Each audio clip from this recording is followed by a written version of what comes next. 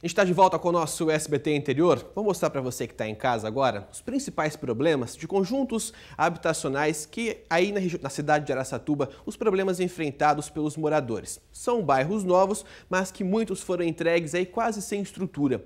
Eles ficam na periferia da cidade e dificultam bastante o acesso da população a serviços básicos aí de saúde e também de educação.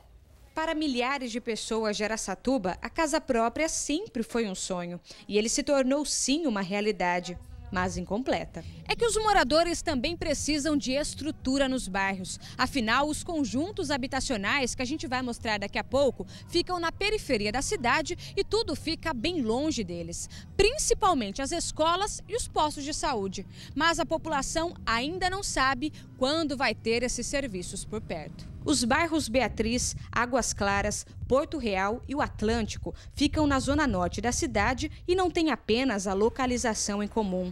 Eles também acumulam promessas que nunca foram cumpridas. No bairro Beatriz, os moradores afirmam que a construção de uma praça ficou só no papel e também falta sinalização nas ruas. Falta tudo aqui. Falta tudo, tudo, tudo, tudo. Ah, o povo aqui está abandonado, que nem diz o outro. Já no bairro Águas Claras, a população sofre com a falta de estrutura na saúde. Aqui, uma unidade básica de saúde começou a ser construída em junho de 2013 e deveria ter ficado pronta dois anos depois. Deveria, mas as obras ainda não têm previsão de terminar. Por causa disso, a Sandra precisa buscar atendimento bem longe de onde mora. Tem que ir lá no TV. Chega lá no TV, quase também não tem médico para atender a gente. Isso daí é pouca vergonha, sendo que tem um posto aqui e não termina o posto. Porque aqui seria melhor que lá. Nós temos que atravessar a pista, essa pista perigosa. Aqui no Porto Real, inaugurado há cinco anos, com mais de 600 casas, a pedra no caminho dos moradores está na educação municipal. A creche construída para atender as crianças do bairro deveria ter sido inaugurada há mais ou menos dois anos. Só que até agora, nenhuma delas entrou na unidade. Mesmo com a escola fora de funcionamento, as matrículas já foram abertas, o que só aumentou ainda mais a expectativa de mães como a Taine é uma coisa que todos nós, todas as mulheres têm crianças aqui no bairro, espera, espera, espera, mas até agora nada. E fica ruim levar ela em outro bairro. Fica muito longe, tempo de chuva, não dá para levar ela. Como é que faz quando chove, por exemplo? Não leva, porque ali é estrada de terra. E não tem como levar que não suja, era por causa de terra.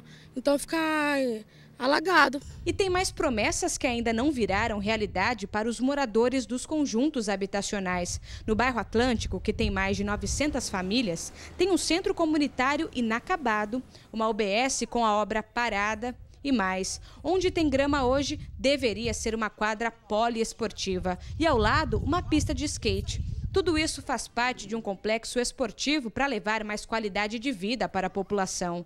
Mas, em vez disso, o local está completamente abandonado. Estamos, assim, é, envergonhados. Eu, eu me sinto envergonhada, é, principalmente de dizer que ainda eu moro em Araçatuba, pelo fato dessa, de toda essa situação acontecendo. Eles esqueceram que aqui tem 961 famílias, sem ter uma UBS, sem ter um CRAS, sem ter uma área de lazer. Vamos se dizer, a gente estamos abandonados. É uma mistura de abandono com mistura também de vandalismo por parte de algumas pessoas. Bom, vamos lá as respostas sobre tudo que nós mostramos aí na reportagem. Sobre o bairro Atlântico, a OBS está com as obras paralisadas por falta de recursos da Secretaria de Saúde. As obras da Praça Ali do Céu, onde deverá ter uma unidade do CRAS, foi abandonada pela empreiteira. Diante disso, a Prefeitura foi obrigada a rescindir o contrato e está preparando uma nova licitação. Bom, no bairro Porto Real, a obra da escola foi entregue à Secretaria Secretaria da Educação. A inauguração está prevista aí para o início do próximo semestre, ou seja, cerca de 15 dias aqui para frente teremos a inauguração da escola. A Prefeitura disse ter buscado recursos para revitalizar também a praça de exercício. Já no bairro Beatriz, o campo e a praça serão instalados no segundo semestre. A sinalização será feita pela Secretaria de Mobilidade Urbana nas próximas semanas, mas não foi dado um prazo aí exato para isso. E por fim, no bairro Águas Claras, a UBS entrará em atividade assim que houver recursos para a contratação de funcionários.